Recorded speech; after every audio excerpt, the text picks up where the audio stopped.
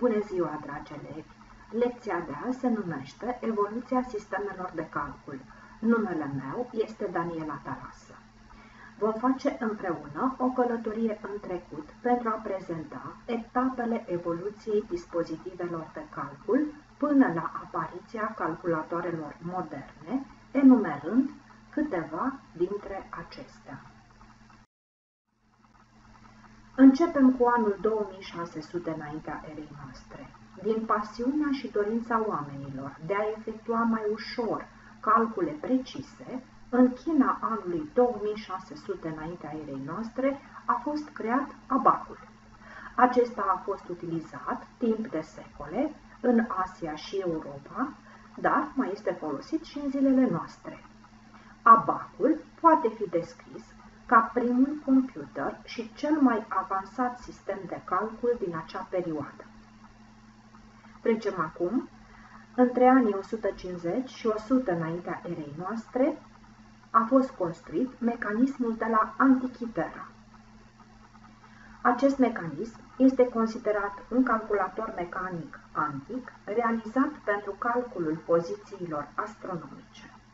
Acest mecanism a fost recuperat între anii 1900 și 1901 dintr-o epavă găsită lângă insula Antichitera, de acolo provenindu-i și numele. Din punct de vedere mecanic, acest mecanism este comparabil cu un ceas elvețian din secolul al XIX-lea.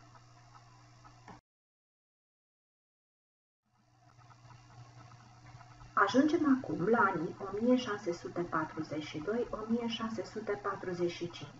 ani în care a fost construită de către matematicianul Blaise Pascal mașina aritmetică ce a fost denumită Pascalina. Aceasta a fost primul calculator mecanic. Blaise Pascal a fost motivat să creeze această mașină pentru a-l ajuta pe tatăl său, care a fost contabil și a avut nevoie de ajutor pentru a realiza calcule mai avansate. Brevetat în Franța de Thomas de Colmar în 1820 și fabricat între 1851 și 1915, aritmometrul a devenit primul calculator mecanic care a avut succes comercial.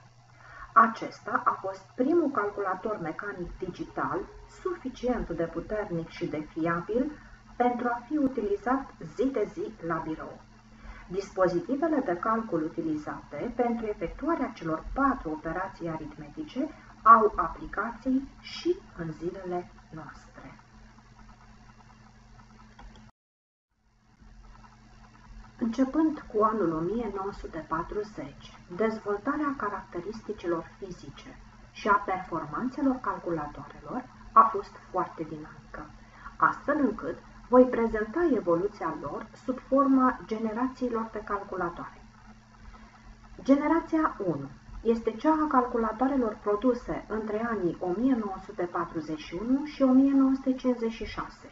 Dintre acestea am ales să vă prezint trei calculatoare și anume Z3, apărut în anul 1941, a fost construit de inginerul Conrad Sus și a fost utilizat la decriptarea comunicațiilor militare naziste. ENIAC, construit în anul 1946 în Statele Unite ale Americii, a fost primul calculator numeric digital capabil de a fi reprogramat. IBM 701, creat în anul 1954 de către firma IBM, a fost primul computer științific comercial al acestei firme și primul computer mainframe de serie. Mainframe înseamnă calculatoare mari și foarte scumpe. Din generația a doua a calculatoarelor, cele produse între 1957 și 1963, am ales să vă prezint două exemple. Produs în România, în anul 1957, calculatorul CIFA 1, acronim de la calculatorul Institutului de Fizică Atomică, avea dimensiunea a trei dulapuri, avea o intrare de bandă de hârtie și o ieșire de mașină de scris și era capabil să rezolve 50 de operații pe secundă. În anul 1960 a fost realizat primul mini-computer numit și DEC PDP-1. Acesta a devenit faimos pentru că a fost computerul cel mai important în crearea culturii hackerilor, fiind și primul mini-computer folosit pentru jocuri pe calculator. Generația a treia este cea care cuprinde calculatoarele construite între anii 1964 și 1981. În anul 1964, IBM System 360 devine prima familie de șase computere compatibile cu 40 de sisteme periferice capabile să lucreze împreună. Anul 1968 este anul creării și lansării în spațiu a computerului Apollo. Acesta a fost instalat la bordul modulului de comandă și a modulului lunar și a furnizat interfețe de calcul pentru îndrumare, navigare și control al spațiale.